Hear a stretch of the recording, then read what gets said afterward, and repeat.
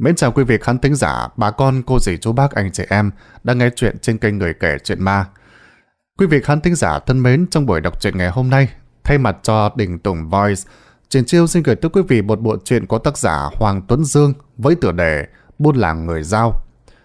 Quý vị nghe chuyện hãy nhớ đăng ký kênh ủng hộ cho Đình Tùng Media và hãy chia sẻ kênh đọc truyện này tới với bạn bè của mình để quý vị khán thính giả chúng ta cùng nhau nghe chuyện trong khung giờ phát sóng của chúng tôi vào 20 giờ hàng ngày. Và quý vị nào thích nghe chuyện audio, chúng ta hãy truy cập vào địa chỉ ngheaudio.net. Ở đây chúng tôi có rất nhiều chuyện, từ chuyện ma đến chuyện tâm lý xã hội, ngôn tình, tranh thám để phục vụ quý vị. Và còn ngay bây giờ, mời quý vị chúng ta cùng hãy đến với nội dung chi tiết của câu chuyện ngày hôm nay qua sự diễn đọc của Triển Chiêu.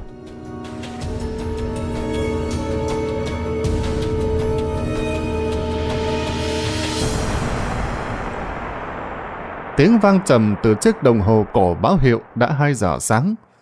Quang lúc này mới giật mình vì không nghĩ rằng đã khuya như vậy. Người đàn ông đã gần 50 tuổi, vươn vai rồi chậm chậm đứng dậy, bẻ tay kêu răng rắc.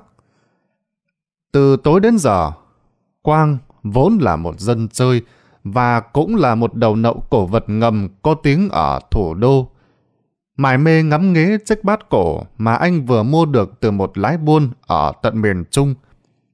Theo như lời người bán, đây là chiếc bát thuộc dòng gốm chu đậu, xuất xứ Hải Dương, được tạo tác từ thế kỷ thứ 15. Tình cờ mắc vào lưới của ngư dân đánh cá trên vùng biển Cù Lao Chàm thuộc tỉnh Quảng Nam. Số lượng gốm chu đậu cổ không còn nhiều, bởi dòng gốm này đã thất truyền từ lâu những cổ vật còn sót lại đến ngày nay chủ yếu được trục vớt từ dưới đáy biển. Theo con đường thông thương xưa, những mặt hàng tinh hoa nhất của cả nước đều được vận chuyển theo đường thủy, rồi tụ lại trên đất Hội An, Quảng Nam. Lúc bấy giờ là một thương cảng lớn có sự giao lưu với nước ngoài. Từ đây, hàng trăm, hàng ngàn con tàu đã ra khơi vượt đại dương, mang theo sản vật tinh hoa của người Việt đến khắp mọi châu lục trên thế giới, để rồi ngày nay, những di vật cổ từ xa xưa vẫn còn nằm trang trọng trong các bảo tàng châu Âu hoa lệ.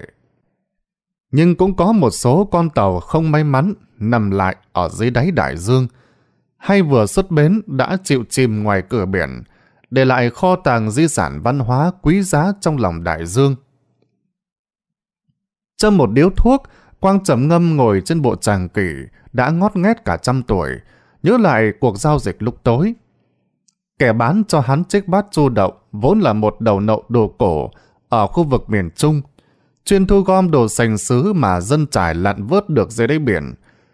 Trước đây khoảng năm 1990, có thời điểm tên này chờ đến nhà quang cả xe tải đồ gốm cổ để giao dịch. Lúc bấy giờ dân chơi đồ cổ trong nước chỉ chuộng chơi đồ của tàu, nên gốm cổ Việt Nam rẻ mạt lắm cứ cho vào giọt rồi cân lên mà tính tiền. Quang mua chất kín nhà kho rồi lại xuất ngược sang tàu. Nghĩ lại thật là buồn cười. Dân Việt chuộng đồ tàu, dân tàu lại thích chơi đồ ta. Cho tới năm 1998, một sự kiện chấn động cả nước lúc bấy giờ xảy ra. Các nhà khoa học khai quật được hàng trăm di vật gốm sứ cổ trong xác một con tàu đắm ở khu vực cửa biển Hội An. Nói đúng ra từ trước ai cũng biết khu vực này có nhiều đồ cổ, bởi nơi đây đã từng là thương cảng sầm uất dưới các triều đại phong kiến.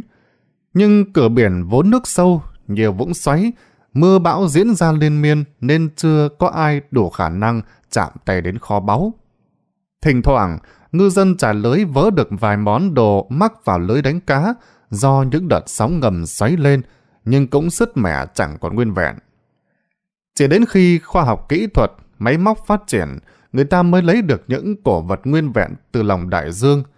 Và cho đến khi các kết quả về niên đại, giá trị văn hóa được xác định, giới chơi đồ cổ trong nước và quốc tế mới sôi sùng sục lên bởi độ quý giá của nó. Kể từ ngày ấy, gốm cổ Việt Nam được xác định đúng giá trị thực. Những chiếc bát, đĩa, ấm chén còn nguyên vẹn, có họa tiết hoa văn đặc biệt được định giá lên tới hàng chục, thậm chí là hàng trăm ngàn đô la Mỹ. Nhớ lại thời điểm còn mua được gốm cổ theo cân, Quang không khỏi xót xa. Bởi từ đó đến nay, chính quyền địa phương đã quyết liệt bảo vệ vùng biển có nhiều xác tàu đắm đó. Lệnh cấm khai quật được ban hành. Thành thử ra, những món đồ gốm như hôm nay Quang mua được đã không còn xuất hiện nhiều. Nghĩ đến đây Quang thở dài. Những năm gần đây, số lượng đồ cổ hắn mua được tận gốc, tức là nơi người ta khai quật dò tìm, không còn nhiều nữa. Có khi vài tháng mới được một chiếc.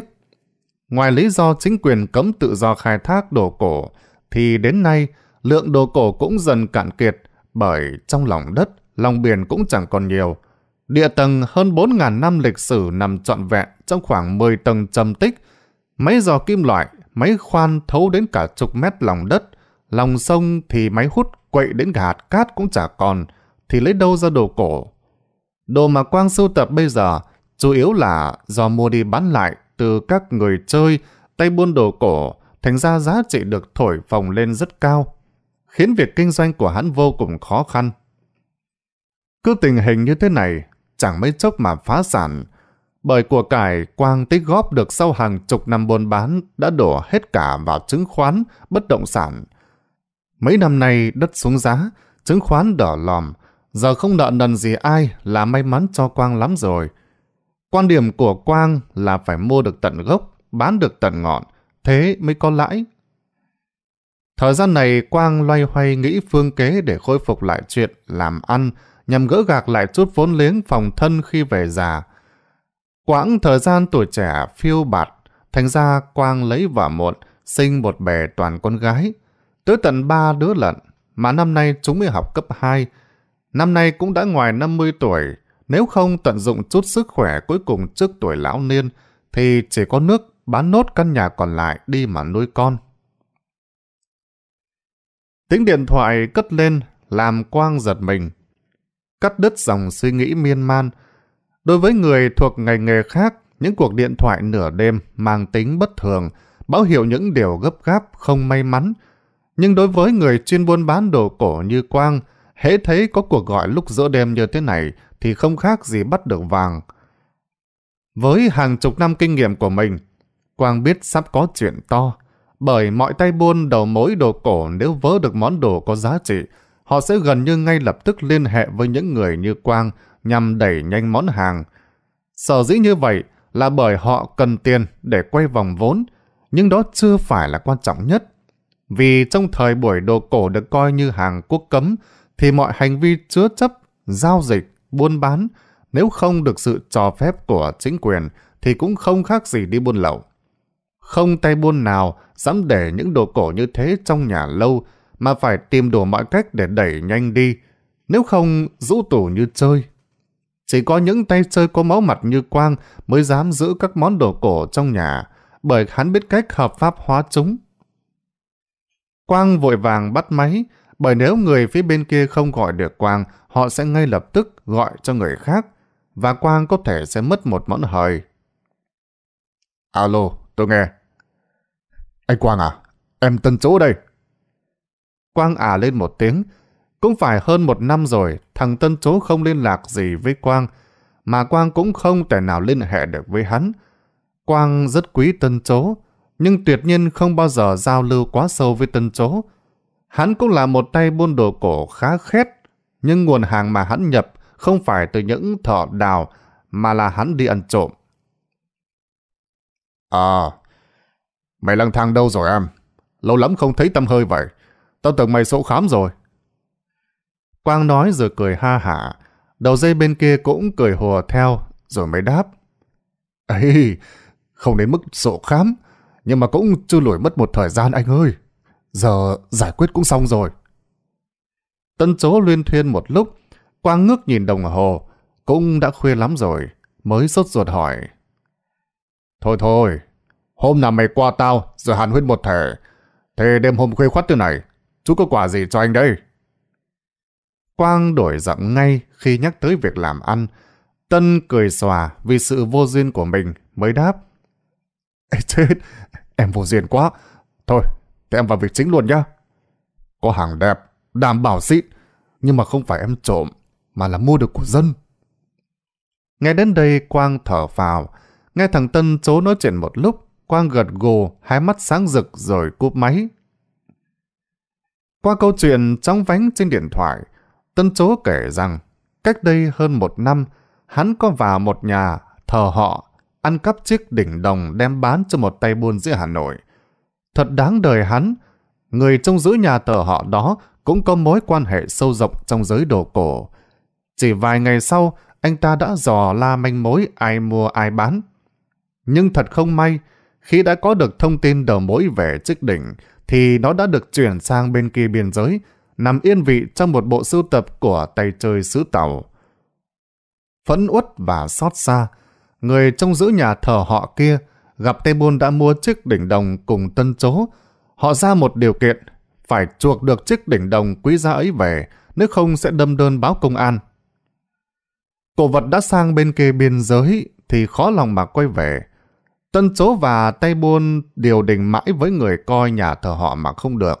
Cuối cùng đơn kiện được đưa ra chính quyền, Tây bôn kia nhanh chân sang Trung Quốc trốn, còn Tân chố lùi về một bản người giao ở tỉnh phía Bắc, nơi có nhiều người quen của hắn. Biết rằng trốn tránh mãi không được, bằng các mối quan hệ, tay buôn kia phải dốc lại toàn bộ gia sản để chuộc chiếc đỉnh đồng, gửi về trao trả cho bên bị mất.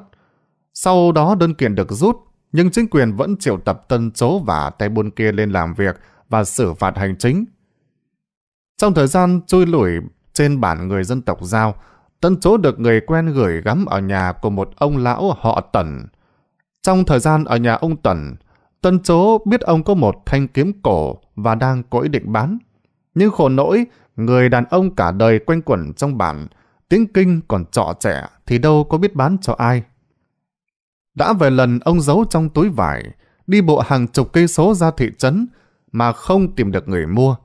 Bởi những người chơi đồ cổ ở vùng đó đâu có nhiều để mà ông gặp được họ. Hãi nhất là khi đi qua hàng sắt vụn, nhìn thanh kiếm cổ vật, người ta cân lên rồi trả ông vài chục ngàn. Hoàng quá, ông Tần mang về cất vào chỗ cũ. Cơ may thế nào trong thời gian ở nhờ nhà ông Tần, qua chút ít tiếng kinh bập bõm của ông, cùng chút tiếng dao dắt lưng của Tân trong những ngày lang thang khắp vùng Tây Bắc. Tân biết được ý đồ của ông Tần, hắn ngay lập tức gọi điện cho Quang và dặn Quang mang theo một số tiền lớn. Dù lâu không gặp Tân số, nhưng Quang tin câu chuyện của hắn. Bởi làm ăn với Tân nhiều năm, Quang biết Tân là người như thế nào. Quang còn biết cả sự việc cái đỉnh đồng kia, bởi tay buôn mua nó vốn là bạn của Quang. Quang đã từng về nhà Tân, biết cả cha mẹ, vợ con hắn. Nhưng thời buổi này, làm ăn thật giả lẫn lộn, mà nhất lại là đồ cổ, cho nên nhất định Quang phải sờ tận tay, thấy tận mắt mới được. Quang hẹn Tân sáng mai sẽ đánh xe hơi lên tận bản để xem xét. Nếu đúng như những gì Tân nói thì thanh kiếm cổ của người đàn ông dân tộc giao kia quả là một món hời, dù cái giá mà Tân hét qua điện thoại là không hề nhỏ. Từ lúc cuộc điện thoại với Tân chấm dứt, Quang không thấy buồn ngủ. Trước đây hắn đã có thời gian tìm hiểu về tộc người Giao và biết về những thanh kiếm quý của họ. Nhưng hắn chưa bao giờ có cơ hội được nhìn thấy, kể cả trong sách vở. Cho nên Quang cực kỳ cảm thấy kích thích cao độ. Đến đây, phải kể qua một chút về người Giao ở Việt Nam và tại sao thanh kiếm mà Quang sắp được diện kiến lại quý giá đến như vậy. Tộc người Giao vốn có nguồn gốc từ Trung Quốc. Theo sử sách ghi lại, từ thế kỷ thứ 8 đã xuất hiện người Giao trên đất Việt. Đó là những cuộc di cư nhỏ lẻ, bởi tập tính người già vốn là du canh du cư. Đến triều đại nhà Minh bên Trung Quốc, do biến thiên của thời đại, người Giao có cuộc thiên di lớn nhất trong lịch sử. Truyền thuyết kể lại rằng, khi ấy, người Giao tập hợp thành 12 dòng họ là Bàn, Triệu, Đặng, Dương, Hoàng, Linh, Lý, Trịnh, Trần, Mã, Trương, Vương, thành 12 thuyền lớn. Người Giao vốn dĩ sống trên núi, không quen với sông nước, vì vậy trước khi lên thuyền, họ bàn với nhau rằng nếu gặp sóng to gió lớn thì phải nhảy lên để cầu xin bản vương, vốn được coi là thủy tổ của các dòng họ người Giao ở cả Trung Quốc và Việt Nam. 12 chiếc thuyền chở người giao lênh đênh trên vịnh Bắc Bộ 7 ngày 7 đêm, gặp mùa mưa bão nên gặp trăm bể khó khăn. Thậm chí có lúc thuyền bị thủng, do người giao không có kinh nghiệm đóng tàu, thì bỗng con chó mà họ mang theo lấy thân mình chèn vào chiếc lỗ đó. Người giao tin đấy là điểm lành, bởi sau đó thuyền họ đã an toàn. Từ biển, người giao tìm được đường vào cửa sông Hồng, rồi ngược lên Bạch Hạc, tức Việt Trì Phú Thọ. Từ đây, những người giao tỏa đi theo ba hướng, cũng là ba con sông lớn nhất của đất Việt là sông Hồng, sông Đà và sông Lô để du canh du cư, phá rừng làm nương rẫy. Ngay sau khi lên được bờ, những người giao tôn thờ chó và họ không bao giờ ăn thịt chó. Con vật đã cứu cả cuộc thiên di của họ. Và sau này khi đã ổn định cuộc sống, những người giao còn làm một nghi lễ gọi là Tết nhảy, để nhớ đến cảm tạ công ơn của trời, của bàn vương đã phù hộ cho họ trong lúc lâm ly. Trong mỗi cuộc thiên di, thứ mà người giao luôn mang theo bên mình là những bộ tranh thờ và những cây kiếm. Họ coi đó là linh vật, đại diện cho trời đất, tổ tiên, che chở, bảo vệ và ban cho họ sức mạnh, ban cho họ những mùa màng ấm no. Trải qua hàng trăm năm lịch sử, nó trở thành những báu vật mà những tay buôn đồ cổ như Quang thèm khát được chạm tới. Nghĩ đến đây, đầu óc Quang như bừng tỉnh, hắn không thể nào chợp mắt nổi dù đã thức cả đêm. Chiếc đồng hồ Pháp cổ lại đánh bốn hồi chuông. Trời vẫn còn đen thui. Quang vội rút điện thoại ra, gọi cho người tài xế ở gần nhà. Hẹn anh ta một tiếng nữa có mặt ở nhà Quang để gấp rút lên đường. Bởi nếu tầm này lái xe đi tỉnh, hắn rất có thể sẽ ngủ gật trên vô lăng. Quang vội chuẩn bị ít đồ đạc, rồi tắm rửa qua loa. Vợ con cũng đã quá quen với lối sống này của Quang. Hắn đi không ai biết, về chẳng ai hay. Nửa đêm đang ôm vợ, nghe thấy tiếng điện thoại, cũng xoắn quẩy lên. Vợ hắn hay nói đùa, may mà mình không phải đồ cổ, không chồng mình cũng bán nốt. Trước khi đi, như thường lệ, Quang chạy lên nhà thắp nén hương cho tổ tiên, cầu xin chuyến đi được thuận buồm xuôi gió. Không hiểu tại sao hôm nay Quang lại bồn chồn đến lạ, bụng dạ cứ cồn cào nóng gian. Vừa lên hương, Quang thấy điện thoại đổ chuông, thế ra là người tài xế đã tới. Quang xá mấy cái rồi tất tưởi chạy ra xe. Hắn đi vội mà không để ý rằng ba quê hương trên bàn thờ đã tắt ngấm. Huyện miền núi mà Quang cần đến cách thủ đô hơn 5 giờ đồng hồ. Ngồi trên xe, Quang dặn dò anh tài xế tin cần một số điều. Đường xá bây giờ được đầu tư trải nhựa phẳng lì, xe ô tô cứ thế mà bon bon. Có chăng gấp gáp lúc leo đèo dốc, Quang nằm ườn ra ghế sau, rồi chìm sâu vào giấc mộng mị. Quang nghe thấy bên tai có tiếng người đàn ông trò chuyện với anh tài xế. Nghe rôm giả mà ồn ào quá, khiến anh giấc ngủ chập chờn. Lạ thật, trên xe có mỗi mình mình, tài xế đang nói chuyện với ai vậy? Đầu óc còn đang lơ mơ, Quang cố căng mắt ra nhìn mà không sao dậy nổi. Hai bờ mi cứ trực níu xuống, mà chất giọng của người đàn ông kia nghe quen lắm, hình như anh đã nghe thấy ở đâu rồi. Bị đánh thức giữa giấc ngủ, Quang nói trong cơn mê mệt. Thì đến đâu rồi Huy ơi? Tên người tài xế. Người tài xế tên Huy nhanh nhảo đáp. Dạ anh cứ ngủ tiếp đi, còn hơn tiếng đồng hồ nữa mới đến nơi coi ngả. Và cũng không đợi Quang phải hỏi, người tài xế tiếp lời. À, anh ơi, Nãy trên đường có bác người dân tộc giao này vẫy xe, xin đi nhờ về bản qua, chỗ mà anh định tới đó. Thấy anh đang ngủ say, nên em tự ý cho bác ấy đi nhờ luôn, tiện đường cả anh ạ. Một luồng lạnh chạy dọc sống lưng Quang khiến anh tròn tỉnh. Quang nhận ra có cái gì đó không đúng, nhưng anh không vội mở mắt, cứ nằm im lìm mà không đáp. Lúc nãy, khi anh còn chưa ngủ, anh có căn dặn tài xế là chỉ cho anh đến trung tâm huyện rồi tự thuê nhà nghỉ ở đấy chờ. Anh tự đi xe ôm vào bản. Vì là chỗ tin cẩn, nên đồ đạc và tiền nong anh sẽ để hết trên xe, anh đi vào tay không. Nếu ưng ý và chốt được giá cho món đồ kia, anh sẽ gọi điện báo người tài xế đánh xe vào. Giao dịch đưa tiền rồi lên xe về thẳng thành phố. Người tài xế này cũng đã theo anh trong nhiều chuyến giao dịch như thế, nên chắc chắn anh ta đã quen với phong cách làm việc của Quang rồi. Bất cứ chuyến đi nào, Quang cũng không bao giờ để người tài xế biết cụ thể nơi mình sẽ tới. Hắn sẽ để tài xế ở nơi nào đó cách đấy khoảng vài chục cây số, bởi Quang không muốn tài xế biết quá sâu về công việc của mình, khéo hỏng việc. Vậy mà giờ đây, tại sao tài xế Huy lại biết được cụ thể nơi Quang đến là bản qua? Chắc chắn khi nãy anh không buột miệng nói ra, và còn người đàn ông đi nhỏ xe nữa. Sao lại có chuyện trùng hợp đến vậy? Hay đây là người của công an, họ nắm được thông tin và định tóm Quang về tội buôn lậu cổ vật. Hàng loạt câu hỏi cứ mòng mòng hiện ra trong đầu Quang. Từ lúc biết Quang dậy, người đàn ông kia hoàn toàn im lặng, chỉ có tài xế Huy vẫn bi bô nói chuyện không ngừng. Không thể như thế này, Quang bất thình lình vùng dậy. Tài xế Huy thoáng chốc giật mình, rồi lại nhanh mồm nhanh miệng. Anh dậy rồi đấy à?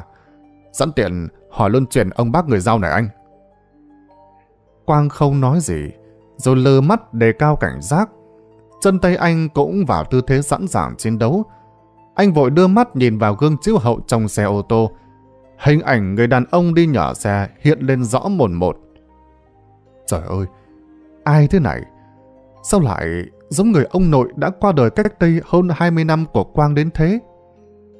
Đôi lông mày bạc phơ, mắt nheo nheo, cả cái nốt ruồi bên má phải nữa. Trời ơi! Đôi mắt Quang đờ đẫn, anh muốn vươn người về phía trước mà không được. Miệng anh lắp bắp. Ông... ông là... Mà không thành tiếng, người đàn ông đi nhờ xe bỗng từ từ quay đầu lại, nở một nụ cười hiền từ. Lúc này, Quang mới nhìn rõ hơn dung nhan của người đối diện. Nước mắt trực trào rơi trên má người đàn ông đã 50 tuổi. Đúng là ông rồi. Quang nhận ra cả bộ quần áo mà chính anh đã mặc cho ông trước lúc nhập quan. Sao ông lại ở đây? Không, không đúng. Sao mình lại ở đây? Mà mình đang ở đâu thế này? Người đàn ông đi nhờ xe bỗng cất giọng. Về đi cháu ơi. Đừng động vào thứ đó. Về đi. Hai tay Quang ù đi. Quang cảm thấy chiếc ô tô như đang lao vun vút với tốc độ kinh hoàng.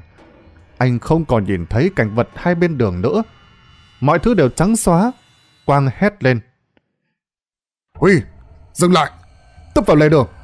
Dừng lại ngay. Xe phanh gấp. Huy đổ nhào về phía trước rồi bất tỉnh. Anh Quang! Anh Quang! Anh làm sao vậy? Trời ơi! Không biết trạm y tế gần đây không nhỉ?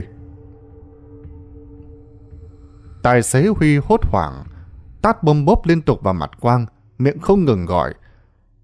Huy nhảy lên ghế lái tìm điện thoại, đang tính bấm số gọi cấp cứu, thì bỗng thấy Quang lồm cồm bò dậy. Kìa, anh tỉnh rồi đi à? Anh có làm sao không? Quang mặt còn ngáo ngơ, lấy tay dụi mắt rồi chui ra khỏi xe. Xung quanh anh toàn là núi đồi trùng đẹp. Gió lạnh thổi khiến Quang bừng tỉnh. Anh quay sang quát Huy. Mày đi đứng kiểu gì vậy hả? Mà ông kia đâu rồi? Tài xế Huy ngơ ngác. Ơ, ông nào hả anh? Anh ngủ mơ xong dãy ruộng la hét. Em sợ quá nên phanh xe tấp vào lề đường. Anh nằm không cài dây bảo hiểm, mất đà nên rơi xuống sàn xe. Em tưởng anh bị trúng gió, đang để gọi cấp cứu thì anh lại tỉnh. Quang lúc này mới định thần, hóa ra là mình mơ. Mà sao giấc mơ lại thật đến như vậy được nhỉ? Nhưng chắc là do đêm qua không ngủ, mệt quá nên đầu óc mê mệt đi thôi. Quang tự nhủ như vậy, rồi lên xe đi tiếp cuộc hành trình. Còn cách vài chục cây nữa thôi, anh có mệt thì cứ tranh thủ chập mắt thêm chút nữa đi anh ạ. Tài xế Huy thấy gương mặt thất thần của Quang nên khuyên nhủ anh như vậy. Quang ậm ừ cho qua chuyện. Lần này anh chuyển hẳn lên ngồi ghế trên cùng với Huy và cũng để nói chuyện với cậu ấy cho quãng đường bớt tẻ nhạt. Chưa đầy một giờ đồng hồ sau, Quang đã tới khu trung tâm huyện. Huyện này thuộc tỉnh vùng cao Tây Bắc, kinh tế chưa phát triển lắm. Cả huyện chỉ có một trục đường chính, có dăm ba hàng quán lèo tèo. Quang thuê cho tài xế một nhà nghỉ, được tạm coi là khang trang và sạch sẽ nhất phố. Không quên dặn dò Huy khi nào anh gọi điện báo địa chỉ thì ngay lập tức phải hỏi thăm đường vào đón anh. Quang đeo trên người chiếc máy ảnh kỹ thuật số. Nhìn anh lúc này không khác gì một nhiếp ảnh gia chuyên nghiệp, đang lang thang khắp núi rừng, bản làng để săn khoảnh khắc đẹp. Đây cũng là chiêu trò của những tay săn đồ cổ để khỏi bị nghi ngờ. Quang một mình đi ra trung tâm thị trấn, hắn rút điện thoại ra và bấm số. Alo, chú Tân đây hả? Anh đang ở thị trấn rồi. Đường vào bản có xa không hả chú? Sóng điện thoại chập chờn nhưng Quang vẫn nghe loáng thoáng thấy Tân chố đáp. À, tầm nửa tiếng chạy xe máy thôi anh ơi. Anh cứ ngồi đấy chờ, em phi ra đón anh ngay. Trong lúc chờ Tân chố ra đón, Quang gọi điện về nhà hỏi thăm vợ con. Bởi nghĩ đến chuyện lúc ban sáng, Quang vẫn còn lo lắng. Quang tranh thủ gặm mấy chiếc bánh ở quán nước ven đường, giờ cũng đã quá trưa rồi.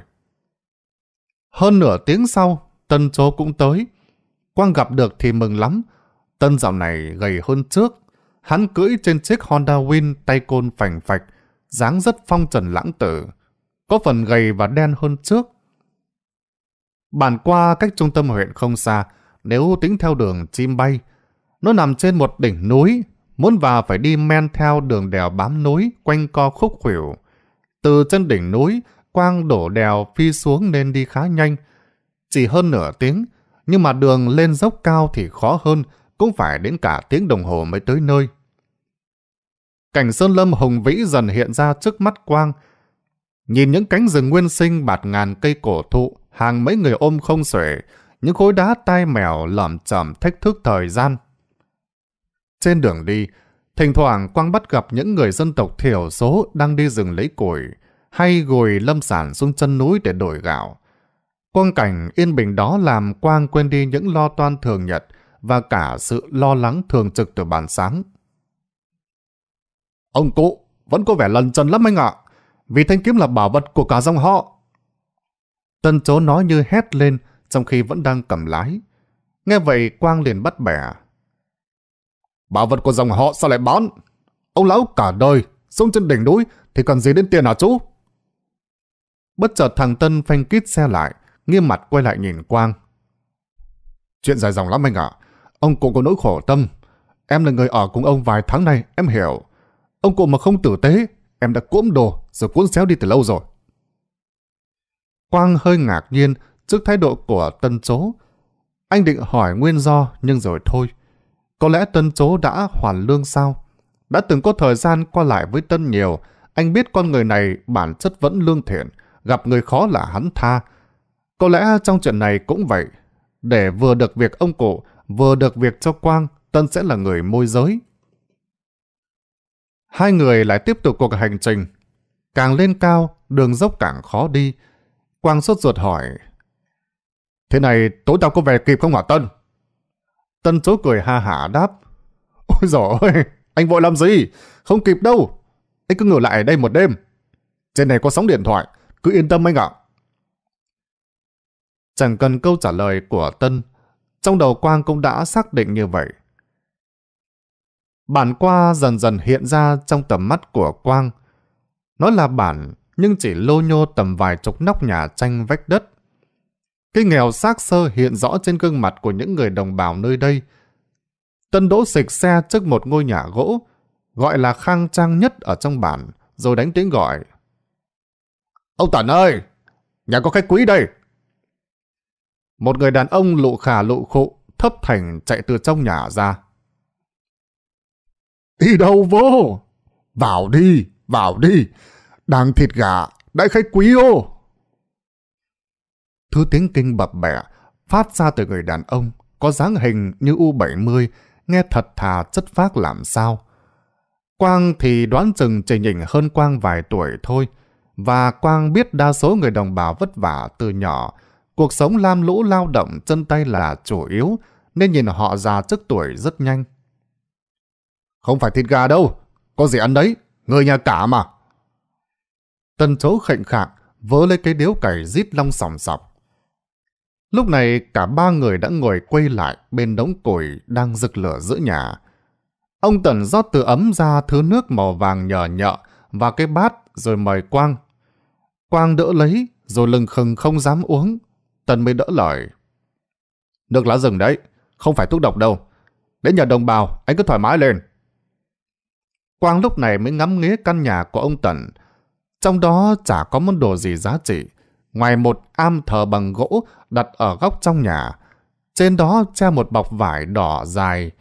Quang nghĩ thanh kiếm cổ nằm trong đó. Qua lời kể của ông Tần, tất nhiên có thêm phiên dịch của Tân. Quang mới rõ ngọn ngành câu chuyện. Người Giao sống trên đỉnh núi này không phải là ít, và bản qua cũng không hề nhỏ như những gì Quang được nhìn thấy. Đi sâu vào những cánh rừng nguyên sinh, còn hàng trăm nóc nhà người Giao như thế nữa. Số dân ngót nghét cũng phải đến hơn ngàn người. Ông Tần vốn là trưởng của dòng họ người Giao ở bản qua. Đại để ông Tần là người được giao để giữ gìn thanh kiếm cổ quý giá, vật bảo hộ cho dòng họ người Giao ở bản này. Người Giao có chữ Giao Nôm và họ cũng ghi lại sách vở, gia phả truyền cho con cháu. Theo đó, từ khi những người Giao đầu tiên đặt chân đến đỉnh núi Tà Loàng cũng đã ngót nghét 5 đến 600 năm, và cổ vật mà Quang sắp được tiếp cận cũng từng ấy năm tuổi. Kiếm giữ trên kia ông Tần, cho tôi xem được không? Quang đột ngột cất lời, rồi đưa tay lên chỉ bọc khăn điều đỏ lủng lẳng trên xà nhà chỗ am thờ. Ông Tần lắc đầu quầy quậy. Ồ, không phải, không phải đâu. Đấy là tranh thờ mà. Cứ ngồi chơi uống nước đi đã. Quang gặng hỏi thêm. Đồ quý vậy, sao ông Tần lại bán cho tôi thế?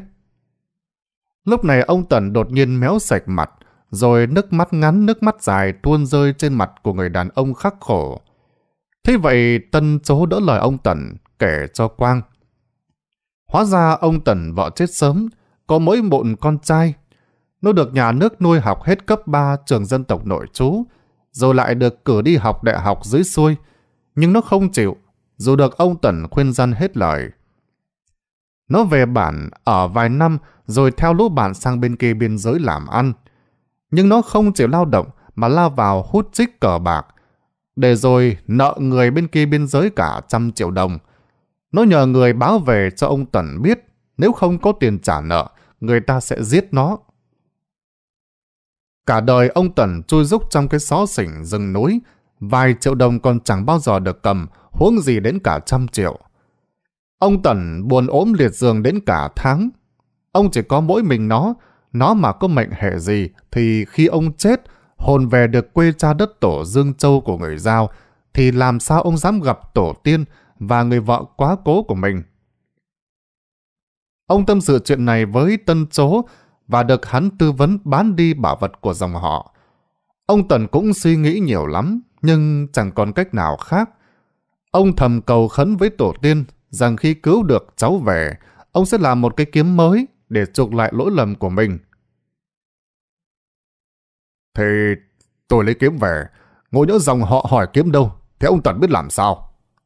Quang thắc mắc. Nước mắt lưng chồng ông Tần bảo. Không lo, tôi có cách. Mạng người giờ quan trọng hơn mà. Quang tiếp lời luôn. Vậy, giờ ông cho tôi xem thanh kiếm đó nhé. Ông Tần mới lồm cồm ngồi dậy, ra trước cái am thờ tổ tiên lầm rầm khấn vái. Đoạn ông lật tấm gỗ bên dưới cái am đó lên. Thì ra dưới đó là một cái hõm vuông vắn, Ông nhấc từ trong đó ra một chiếc hòm gỗ nhỏ đã cũ mềm. Quang cứ chố mắt nhìn, rồi Tân khẽ thì thầm vào tay anh. Đáng lẽ phải mổ gà làm lễ mới được lấy thanh kiếm giả. Hôm nay là ngoại lệ đấy. Trời đã nhập nhoạng tối, cảnh sơn lâm u tịch đến thê lương. Tiếng vượn hú, quả kêu vang vọng khiến cho không gian càng thêm não nề. Trong nhà, Ánh điện từ bóng đèn sợi đốt vàng vọt hắt từ trên trần xuống, chẳng đủ soi sáng mặt người. Lại thêm ánh lửa cứ bập bà bập bùng, khiến không cảnh càng thêm lưu trai. Ông Tần rón rén mở chiếc hòm, nhấc ra cái bọc vải đỏ, rồi nhẩn nha mở nó ra. Quang căng mắt nhìn, mồ hôi anh dịn ra trên trán. Không giống như Quang tưởng tượng, vật gọi là kiếm có hình thù thật kỳ dị. Nó chỉ dài bằng cẳng tay người, Phần lưỡi kiếm chiếm khoảng 2 phần 3 chiều dài đó, trông như một chiếc dùi được mài sắc thành tám cạnh. Đầu nó nhọn hoắt, đuôi kiếm là ba vòng sắt uốn tròn, treo lủng lẳng các đồng xu cổ, cùng các dây tua rua đỏ. thế mặt Quang cứ đỏ đẫn, ông Tần như hiểu Quang đang thắc mắc về hình dáng kỳ dị của cái gọi là chiếc kiếm, nên cất lời giải thích. Kiếm để đánh mà, không đâm thú đâm người được đâu lô. Quang hiểu chứ, bởi từ lúc mang thanh kiếm ra, rồi ngồi bên bếp lửa ấm nóng, nhưng Quang vẫn thấy dùng mình bởi thanh kiếm tỏa ra luồng khí lạnh đến dùng mình. Điều làm Quang ngây ra lúc này đó là tại sao thanh kiếm đã hàng trăm năm tuổi mà không một vết dỉ xét, vẫn bóng sáng đến lạ kỳ. Ông Tần sốc thanh kiếm lên trên tay, đưa lại gần bếp lửa. Thật kỳ lạ, tiếng những đồng xu ở chui kiếm va đập vào nhau kêu choang choang, giống như là người ta ném vỡ ly thủy tinh vậy. Càng ngạc nhiên hơn, khi ánh lửa dọi vào thanh kiếm tạo ra vệt sáng xanh lẻ, chiếu thẳng xuống chân Quang. Quang sửng sốt và bàng hoàng, bởi nếu những gì anh đang thấy không phải là một giấc mơ, thì đây là lần đầu tiên anh được tiếp cận với một cổ vật có một không hai trên thế giới được làm bằng chất liệu đồng đen. Vốn là một kim loại quý mà tới nay khoa học còn chưa lý giải được. Quang mới chỉ thấy những bức tượng Phật được đúc bằng đồng đen, chứ tuyệt nhiên chưa bao giờ thấy một thanh kiếm được làm từ đồng đen như thế này. Thật đúng là những thứ kỳ chân dị bảo thường hay xuất hiện ở chốn thâm sơn cùng cốc. Quang xin phép ông Tần, rồi cẩn thận cầm thanh kiếm lên ngắm nghía. Nó nặng hơn Quang tưởng. Sau nhiều năm buôn bán cổ vật, chưa bao giờ anh được tiếp cận với đồng đen ở khoảng cách gần như thế này. Nhưng liệu có chắc chắn đây là đồng đen xịn hay không? Quang biết cách thở, vì anh đã nghiên cứu sách vở nhiều về thứ kim loại này. Đó là lý do tại sao anh cứ giả tảng mân mê thanh kiếm ngắm nghía, dù nó chả có chút hoa văn gì trên đó cả. Quang khẽ khàng cọ phần chui kiếm vào gốc của ngón áp út, nơi mà chiếc nhẫn cưới vàng ta 4 số 9 Quang đã đeo từ hồi lấy vợ. Cọ đi cọ lại đến hơn chục lần, chiếc nhẫn bị mài mòn đi một chút, Quang mới ngửa chuôi kiếm lên trước mặt. Phần vàng bị dính trên chuôi kiếm đã chuyển sang màu trắng xóa. Trời ơi, đây đúng là đồng đen thật rồi. Thật là quý vật tầm quý nhân. Quang như mở cờ trong bụng, nhưng cố tỏ ra bình thường và có chút hời hợt để ông Tần và Tân Chú không nhận ra. Nếu vật này tuồn sang được đến Đài Loan hay Hồng Kông, trị giá của nó có thể lên tới hàng trăm ngàn đô la Mỹ. Nhưng thái độ của Quang làm sao qua được mắt Tân Chú, bởi trước đây hai người đã từng giao dịch với nhau nhiều lần. Và lại cùng là con buôn, làm sao Quang qua được mắt Tân Chú.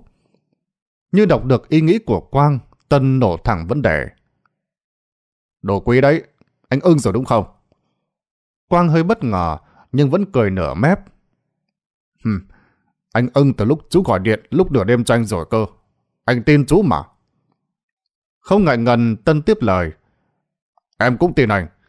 Và thương ông Tần như người nhà. Ông cứ mang em trong lúc em hoạn nạn. Đồ quý thế này bán cho ai trả được. Nhưng em thích gọi anh. Quang liếc nhìn ông Tần rồi quay sang nói với Tân. Bao nhiêu? Tân nói như đinh đóng cột. Vụ này, em xin phép không dây dưa đến một xu. Coi như là em đền ơn ông Tần. Đúng 300 triệu. 100 để gửi sang cho con ông Tần trả nợ. 100 để ông dưỡng giả. Số còn lại, để ông nộp phạt cho dân bản. Vì kiểu gì cũng bị bắt vạ mà. Biết tính Tân tuy lưu manh, nhưng cũng khá thẳng thắn, quân tử. Quang không lèo nhèo mà gật đầu đồng ý ngay lập tức. Lúc đó đã khoảng 7 giờ tối. Quang gọi điện cho tài xế Huy đánh xe lên tận bản. Trong lúc chờ đợi, ông Tần mang con gà luộc từ chiều ra cho cả lũ đánh chén. Tiền bạc Quang để cả trong xe, vì tài xế Huy cũng là chỗ tin cẩn. Quang ôm chiếc hòm gỗ chứa thanh kiếm xuống được đến chân núi, cũng là đúng 12 giờ đêm. Anh ơi, anh em mình nghỉ lại ở huyện chưa anh? Không về Hà Nội lại mất cả đêm đấy. Tài xế Huy chậm chậm nói. Huy dù đã thấm mệt nhưng vẫn cố nói. Chú có mệt không? Tài xế Huy hăm hở đáp. Em không, Chờ anh em ngủ cả ngày rồi. Được đà Quang đớp luôn lời. Thế thì mình về luôn đi em, anh cũng không có mệt.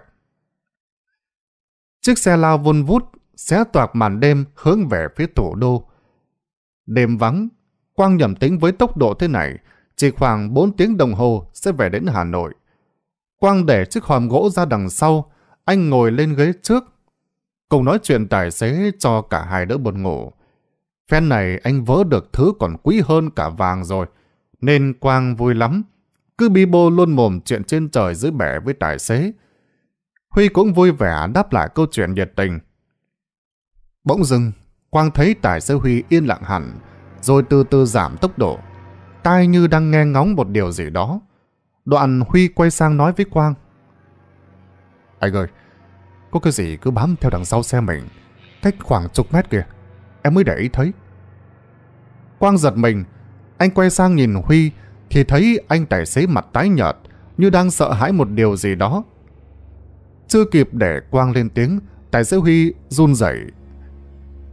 Anh nhìn xem, hay hay là em bị hoa mắt? Quang dùng bình trước câu nói của Huy. Anh cố căng mắt nhìn qua gương chiếu hậu. Đường tối thui, chỉ có ánh trăng chiếu lờ mờ. Cùng chút ánh sáng yếu ớt của đèn hậu xe ô tô. Chỉ chừng ấy thôi cũng đủ để Quang nhìn rõ. Một con vật bốn chân đen xì, hai mắt đỏ ngầu, sáng quắc đang đuổi theo xe họ. Tóc gáy Quang dựng đứng lên, một dự cảm không lành xoáy thẳng vào trong não anh. Quang cứng họng không nói nên lời. Anh Quang, cô, cô phải hổ không? Tài xế Huy lắp bắp. Thế nhưng liền sau câu hỏi đó của Huy, cả hai cùng nghe thấy một tràng âm thanh chát chúa vang dội bên tai. Quang run rẩy quay sang Huy nói. Chó, chó, sao nó đuổi được như thế này? Mày tăng tốc lên đi Huy! Tài xế Huy đạp vội chân ga, chiếc xe vọt lên tới 90 km trên giờ. Nhưng những tiếng chân chạy thình thịch vẫn vang vẳng bên tai hai người đàn ông. Một lần nữa, Quang cố đưa mắt nhìn vào chiếc gương chiếu hậu nhìn về đằng sau. Con vật đã áp sát khá gần xe. Cảnh tượng kinh hoàng ấy khiến Quang hét lên. Không, nhanh nữa lên! Quang như điên loạn, quay sang phía Huy. Anh vừa nhìn thấy rõ ràng là một con chó to như con bê con. Toàn thân nó lông đen xì, bầm sờm như con gấu. Hai mắt nó thì đỏ au, trông như bóng đèn quả nhót đỏ lầm lòm hay thấp ở trên bàn thờ. Mồm nhễu nhão nước dãi, đang hồng hục, muốn trồm lên xe. Chiếc xe lúc này đã vọt lên tới hơn trăm cây số trên giờ. Trong cơn hoảng loạn, Quang và người tài xế không nghe thấy trong xe có một tiếng động lạ. Choang! Không ai dám nhìn về đằng sau, chỉ hướng về đằng trước mong bắt gặp một chiếc xe đi ngược chiều hay ánh điện của một ngôi nhà.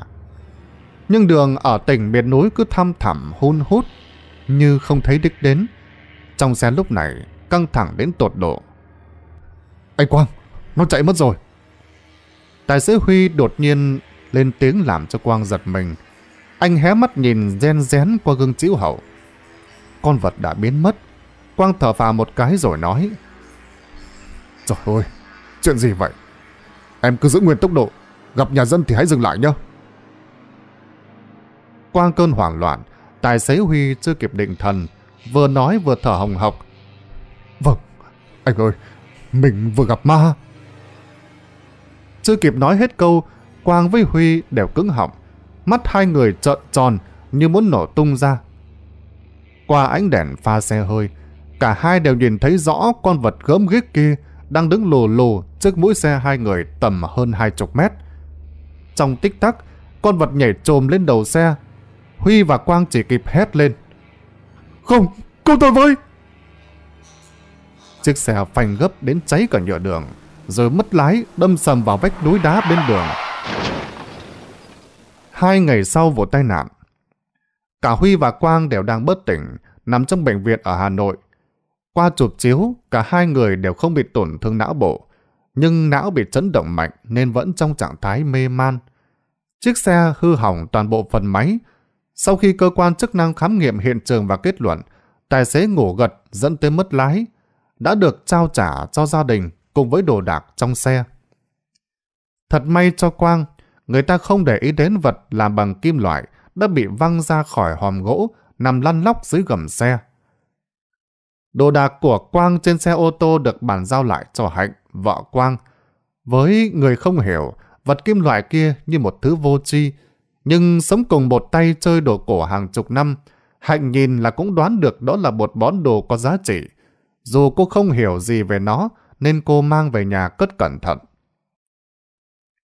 Cũng đã ba ngày nay, Hạnh nghỉ việc ở nhà chăm sóc chồng. Mấy đứa con cô gửi sang ngoài. Quang và tài xế Huy cũng nằm chung trong phòng hồi sức cấp cứu. Người nhà Huy cũng cùng Hạnh chăm sóc hai người. Hôm nay đã là ngày thứ ba, Quang và Huy vẫn ở trạng thái mê man. Dù các bác sĩ không hề đưa ra những tiên lượng xấu, nhưng Hạnh vẫn vô cùng lo lắng. Giờ Quang mà có mệnh hệ gì, mẹ con cô không còn biết trông cậy vào đâu. Ngồi nói chuyện chán chê với người nhà Huy, Hạnh lấy điện thoại ra nghịch. Lúc rảnh rỗi, cô vẫn thường hay xem những video ngắn ở trên mạng. Nhưng giờ đây, giữa khung cảnh bệnh viện với biết bao nét mặt dầu dĩ ảm đạm, Hạnh làm gì còn tâm trạng để chú tâm vào điện thoại. Cô chỉ lướt qua để giết thời gian. Hạnh dừng lại ở video mà người ta quay một đàn chó vô cùng dễ thương đang đứng trước cửa nhà. Thỉnh thoảng có người lạ đi qua, đàn chó đó lại chu chéo lên sủa gâu gâu. Hạnh bất chợt mỉm cười. Cô vốn là người yêu động vật. Tiếng sủa phát ra trong điện thoại mỗi lúc một chát chúa dày đặc. Cứu! Cứu tôi với! Tiếng hét lớn phát ra từ giường quang. Hạnh giật mình đánh rơi điện thoại, chạy nhanh lại phía giường chồng mình. Cô kinh hoàng khi nhìn thấy mắt quang vẫn nhắm nghiền mà toàn thân quấy đạp dữ dội. Tay anh cứ chới với vào trong không trung, như đang xua đuổi cái gì đó vô cùng khủng khiếp trước mặt. Tiếng chó sủa phát ra từ chiếc điện thoại của Hạnh, mỗi lúc càng dồn dập. Tài xế Huy nằm ở giường ngay bên cạnh cũng lâm vào tình trạng tương tự giống như Quang. Tất cả những người trong phòng hoảng hốt lao đến giữ chặt tay chân hai người đàn ông như thể đang trong trạng thái động kinh. Hạnh lúc này không thể bình tĩnh, cô vẫn ghi lấy người chồng và nói lớn. Bác sĩ ơi! Ai đó! Khỏi bác sĩ giúp tôi! Hạnh lấy hết sức bình sinh, giữ lấy người chồng. Thế nhưng dù cố gắng đến mấy, sức đàn bà làm sao so được với một người đàn ông trung niên cường trắng. Hạnh lúc này đã bải hoài, rượu dã cả chân tay, thì bỗng quang vùng dậy, hất tung cô ngã ngửa ra đằng sau. Cứu tôi với! Nó định giết tôi! Quang mắt nhìn về nơi phát ra tiếng chó sủa. Liền ngay lúc đó, Huy cũng đã tỉnh, miệng liên tục phát ra những câu ú ớ nghe không rõ nghĩa. Hai người đàn ông đang ở trạng thái kích thích đến cực độ, nét mặt họ hoảng sợ, như thể đang bị cái gì đó dọa dẫm. Căn phòng bệnh trở nên hỗn loạn. Ngoài cửa, những người tò mò đang bu lại xem, họ không hiểu chuyện gì đang xảy ra. Sau cô ngã ngửa suýt đập đầu xuống đất, dù đang rất ê mông, nhưng Hạnh đã lấy lại được bình tĩnh, cô gào lớn. Quang, là em đây mà. Có em đây rồi, anh đừng sợ. Hạnh ngồi dậy, lao đến bên chồng. Chân cô dẫm vào cái điện thoại đang nằm lăn lóc dưới đất. Một tiếng bép vang lên. Chiếc điện thoại bẹp rúm và tắt ngúm. Nhưng có một điều thần kỳ xảy ra. Tiếng sâu sủa vừa dứt, cả Quang và Huy bỗng khựng lại. Mặt thất thần, hai người từ từ đưa mắt nhìn nhau ngơ ngác, rồi òa khóc. Nào, mọi người giải tán hết đi. Có chuyện gì thế này? Tiếng bác sĩ khô khốc vang lên. Đám đông bên ngoài tản mát hết. Bác sĩ tiến vào phòng, hỏi thăm tình trạng Huy và Quang. Vừa thăm khám bác sĩ vừa nói. Tình hình thế này là tốt rồi. Giờ đi chụp chiếu não đồ, x quang các bộ phận. Nếu không làm sao thì ngày kia là xuất viện được rồi. Hạnh dân dấn nước mắt hỏi bác sĩ. Bác sĩ ơi, lúc nãy người nhà cháu như là động kinh vậy. Đầu óc liệu có ảnh hưởng gì không bác sĩ? Bác sĩ đáp. Cái đấy phải chụp phim mới biết được. Giờ cô thu dọn qua rồi đỡ anh ấy đi. Cùng cậu kia nữa, để đến phòng ích quang nhé. Hạnh quẹt nước mắt, nghe theo lời bác sĩ. Thật may Quang và Huy chỉ bị chấn động về tinh thần. Các bộ phận trên cơ thể hoàn toàn không bị tổn thương, chỉ có vài vết xước sát do va đập. Bác sĩ cho hai người thuốc an thần, dặn nghỉ ngơi tĩnh dưỡng, và chỉ phải ở lại bệnh viện thêm một ngày để theo dõi thêm. Từ lúc Quang và Huy được người nhà dìu đi khám, cả hai người vẻ mặt như mất hồn, chỉ hỏi gì đáp nấy, Hạnh cũng không hỏi han gì nhiều, sợ lại động chạm đến cú sốc của chồng. Sau khi uống thuốc an thần, cả hai ngủ ly bỉ. Giờ đã là 12 giờ đêm, Hạnh và người nhà Huy gục ngủ bên giường sau một buổi chiều mệt mỏi vật vã. Trong phòng đã tắt hết đèn, chỉ có ánh điện loang loáng từ ngoài hành lang hắt vào. Bệnh viện về đêm yên tĩnh lắm, tịnh không có tiếng người, chỉ có tiếng dế trong những bồn cây lao sao vọng vào đều đều như hát du. Quang cửa mình rồi choang tỉnh, anh dụi mắt mấy cái, rồi dần ý thức không cảnh xung quanh mình. Hạnh vẫn ngủ ly bỉ, Quang thấy toàn thân nhức mỏi, bụng đói cồn cào. Anh biết kiểu gì trong tủ đầu giường Hạnh sẽ để rất nhiều đồ ăn ở đó. Nhưng anh không muốn bước ra khỏi giường bệnh vì sợ mọi người thức giấc. Dưới ánh đèn hưu hắt, Quang thấy mặt Hạnh xanh xao, gầy tọp đi. Chắc mấy hôm nay cô lo lắng nhiều lắm. Quang khẽ thở dài, rồi nhìn ra phía cửa kính khép hờ. Đầu anh đang mường tượng lại những câu chuyện xảy ra mấy hôm trước. Tất cả như một cuốn phim đầy hoang hoại kỳ bí. Lúc chiều khi đầu còn lơ mơ, anh có nghe Hạnh nói qua về tình hình hiện tại. Đồ đạc của anh cũng đã được cất về nhà. Vậy là Quang yên tâm lắm rồi. Quang định bụng khi nào xuất viện sẽ nhanh chóng tống khứ món đồ thổ tả ấy đi cho một nhà sưu tập khác.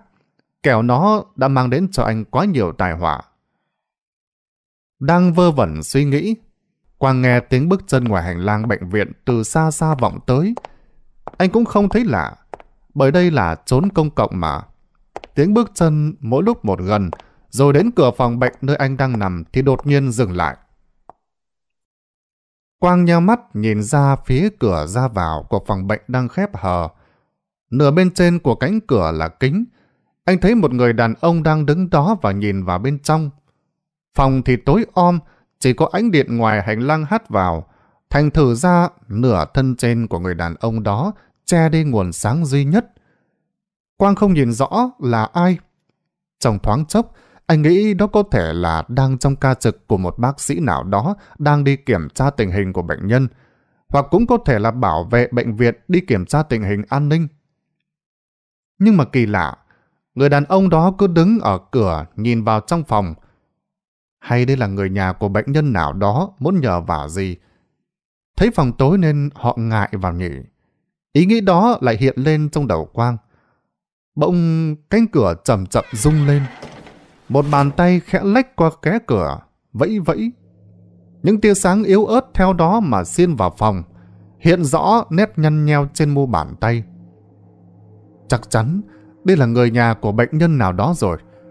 Quang nghĩ vậy, và anh không lên tiếng, khẽ khàng bò ra khỏi giường, tín về phía cánh cửa. Anh sợ mọi người thức giấc nên đi nhẹ lắm và thẽ thọt. Có chuyện gì vậy ông? Cháu...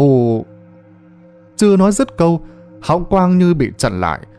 Hai mắt Quang trợn tròn, mồm há hốc ra lắp bắp. Ông... ông, ông Tận... Sao... sao ông lại ở đây? Ô, ô, ô, ông làm sao thế này? Trước mặt Quang là ông Tần, người đã bán thanh kiếm cổ cho Quang. Toàn thân ông bê bết máu, quần áo rách như bươm, như vừa bị cào cắn vậy.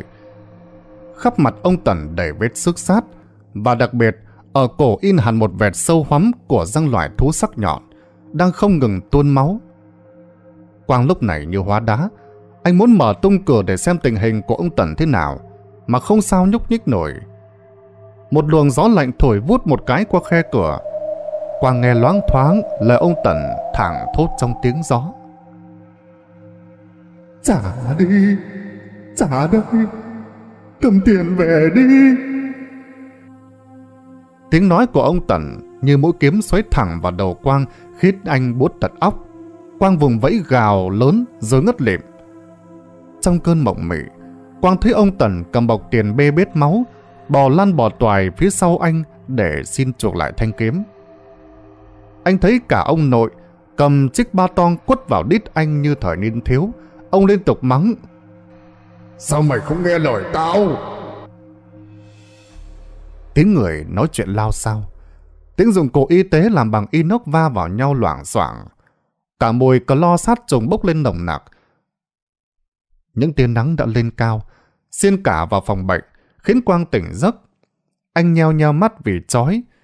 Vừa đúng lúc đó, Hạnh mang cặp lồng cháo vào, cô hồ hởi. Anh thấy trong người thế nào rồi? Qua mơ gì mà cứ u ớ cả đêm vậy? Thì ra tất cả chỉ là giấc mơ. Quang không trả lời Hạnh. Anh ngồi dậy, nhìn quanh quất vào phòng rồi ngơ ngác hỏi.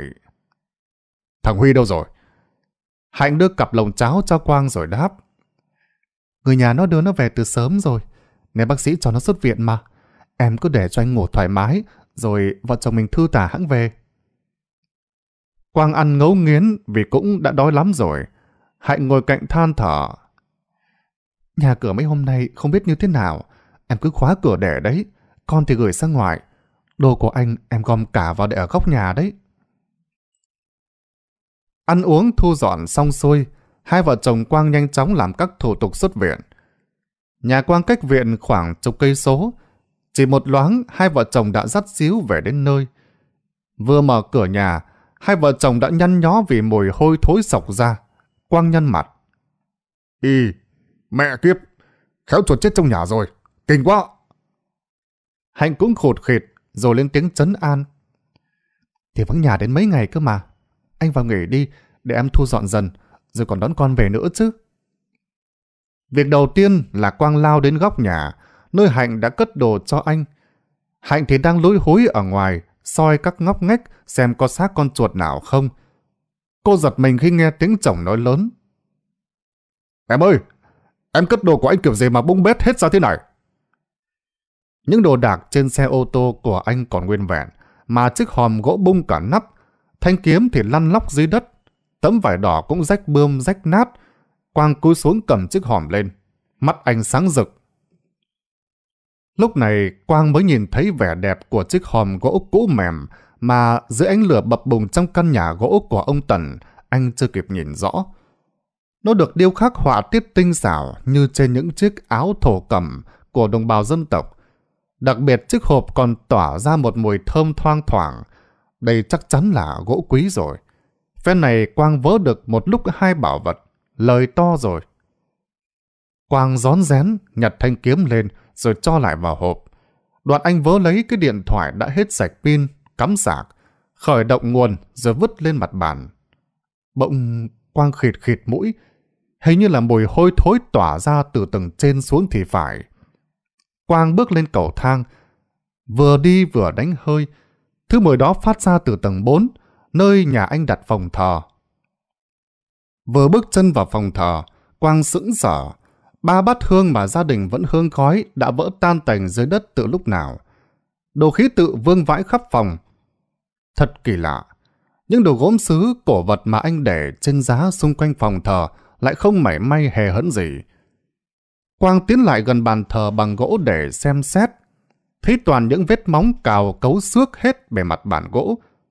Và đây, thứ tỏa ra mùi hôi thối kia là một đống bầy nhầy như dãi rớt của con vật gì đó còn vương lại loang lổ trên mặt bàn và cả ở dưới chân anh. Quang chợt dọn tóc gáy. Chuyện gì đang xảy ra thế này? Nó chưa buông tha anh sao? Và cả giấc mơ đêm qua nữa. Nghĩ đến đây, Quang không giữ được bình tĩnh mà vùng chạy xuống nhà.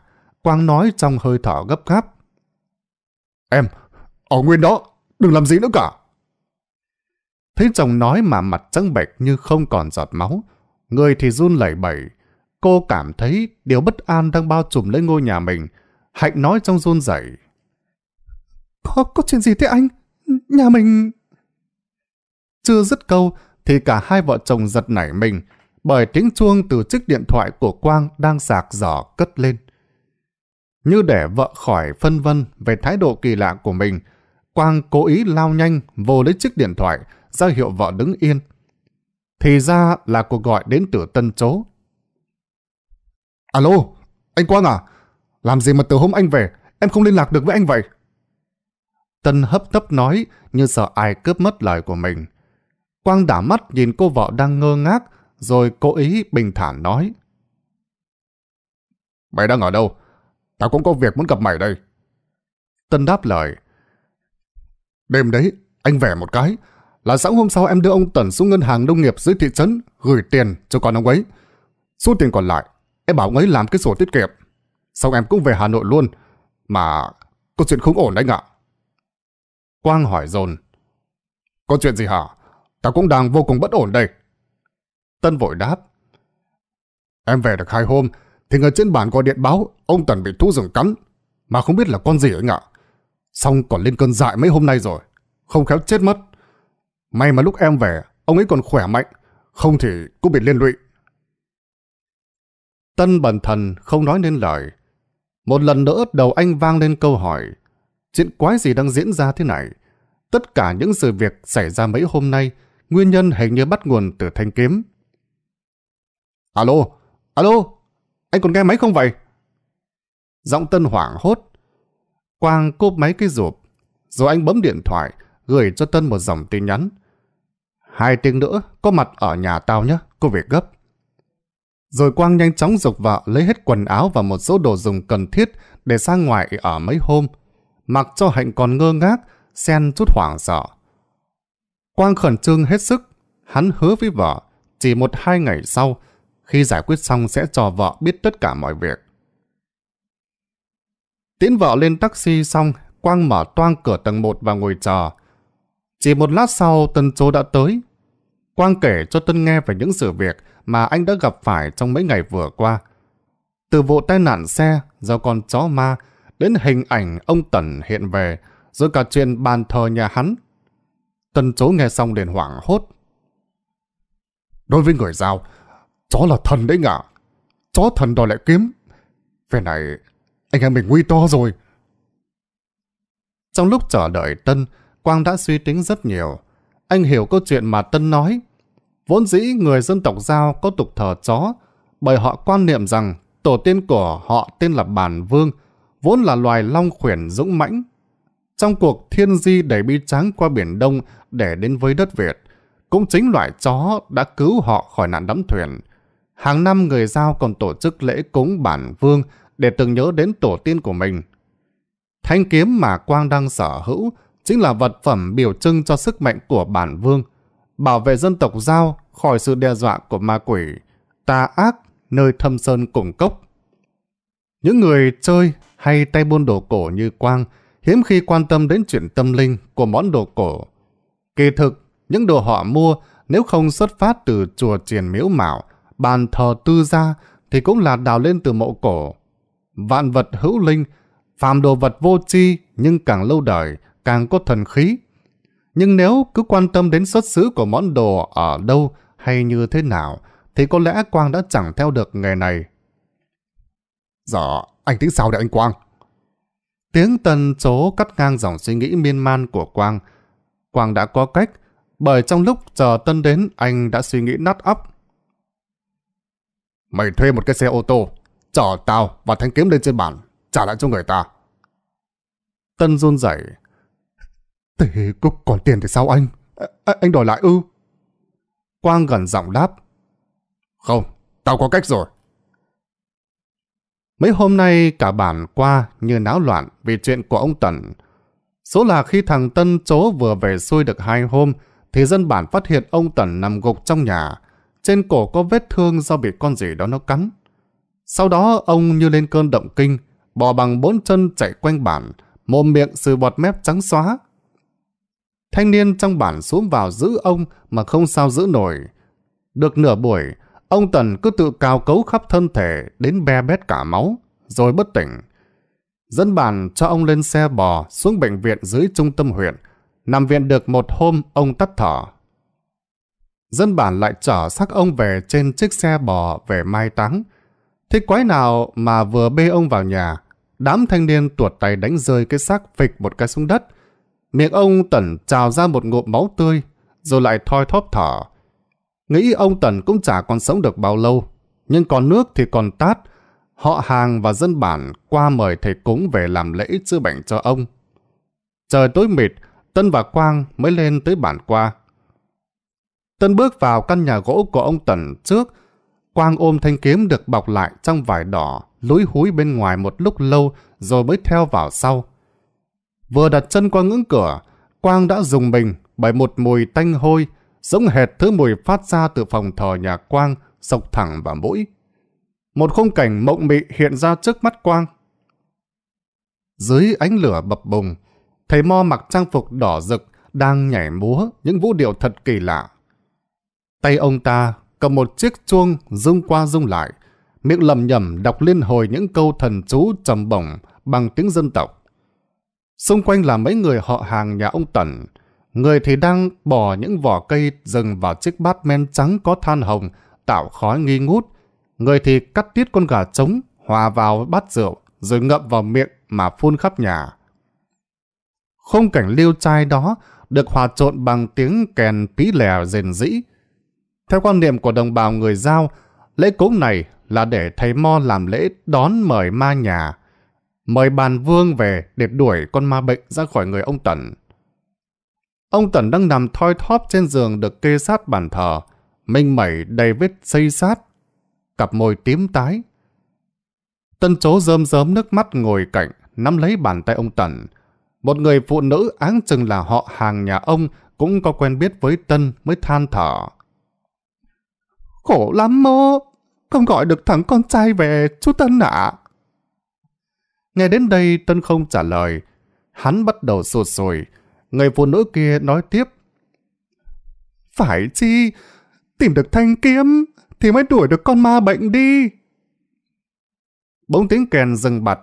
Ông thầy Mo ngồi phịch xuống đất rồi than lên rằng Phải rồi, không tìm được kiếm là không thành đâu.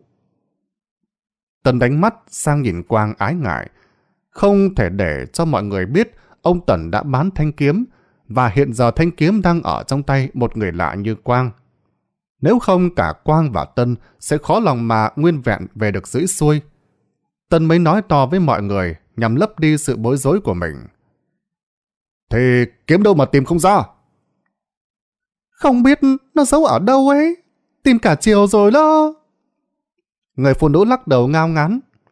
Quang khẽ gật đầu với Tân rồi đáp lời luôn. Vậy mọi người đốt đuốc, tìm lại một lần nữa xem sao. Còn nước còn tát. Trong lúc mọi người đang lối hối tìm, Quang cố tình nói lớn.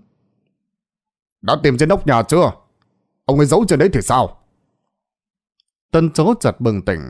Quang quả không hổ danh là một tay buôn đồ cổ lão luyện. Quang đã tính trước chuyện này. Thế ra, trong lúc Tân vào trước, Quang đã lối hối đưa thanh kiếm được bọc vải đỏ lên nóc nhà ông Tần. Nhà gỗ của đồng bào thì thấp lè tè, Quang đứng trên nóc ô tô là để lên đó được. Thanh kiếm nhanh chóng được đưa xuống. Trời đã tang tảng sáng, ông thầy cúng rôn rẩy cầm thanh kiếm báu dê nhẹ quanh giường nơi ông Tần nằm. Tiếng những đồng xu ở chui kiếm va vào nhau len keng, như tiếng gọi thức tỉnh linh hồn, đuổi mọi tà ác. Tiếng chó sủa một hồi từ trên tận nơi cao nhất của bản bỗng vọng xuống, làm tất thảy đều giật mình. Thế vậy thầy Mo kính cẩn đặt thanh kiếm lên bàn thờ, thở phào nhẹ nhõm nói. Nó sẽ sống, tổ tiên cứu nó rồi. Đúng như vậy, chỉ lát sau ông Tần đã tỉnh táo và húp hết sạch bát cháo. Quả là thần nào đất ấy, dù khoa học kỹ thuật đã phát triển vô cùng, nhưng trong thế gian vẫn có những điều chưa thể lý giải, nhất là ở những nơi thâm sơn cùng cốc. Vài ngày sau, Quang vừa bán chiếc hòm gỗ đã từng đựng thanh kiếm cho một nhà sưu tập người Đài Loan với giá gần tỷ đồng.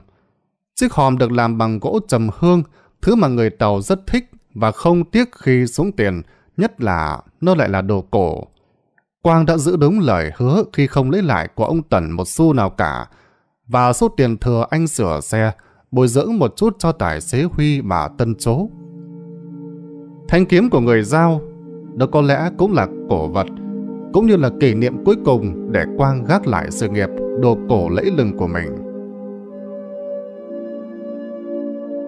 Quý vị khán thính giả, bà con cô dì chú bác anh chị em thân mến, Chúng ta vừa nghe xong nội dung câu chuyện của ngày hôm nay. Quý vị nghe chuyện hãy nhớ đăng ký kênh ủng hộ cho Đình tổng Media và hãy chia sẻ kênh đọc truyện này tới với bạn bè của mình để quý vị khán thính giả chúng ta cùng nhau nghe chuyện trong khung giờ phát sóng của chúng tôi vào 20 giờ hàng ngày.